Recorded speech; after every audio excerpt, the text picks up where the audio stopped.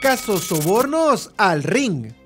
El excontralor Carlos Poli la tiene difícil en las nuevas pruebas del caso que demuestran el modus operandi para llevar adelante un esquema de sobornos pagados por Odebrecht y el lavado de dinero. Las nuevas pruebas consisten sobre todo en correos electrónicos entre Polit, un familiar suyo que es denominado co-conspirador 1 y un empresario español. Como papas fritas de refri, en un operativo en el aeropuerto de Guayaquil, autoridades antinarcóticos encontraron 5 kilos de cocaína ocultos en la maleta de un ciudadano que viajaba a España.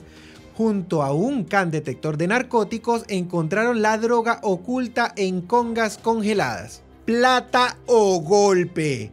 En las escuelas de Nueva Prosperina, el distrito más violento de Guayaquil, los estudiantes piden dinero para no agredir a sus compañeros y profesores. Roberto Santamaría, jefe policial del sector, explicó que los estudiantes exigen dame un dólar para no golpearte. ¡Que viva el cumpleañero! Este 27 de septiembre el buscador más popular de la red cumple 25 años y es por eso que hoy la palabra Google se ha recreado con esta animación en su página principal y el confeti inunda las pantallas al dar clic sobre el logotipo de la empresa.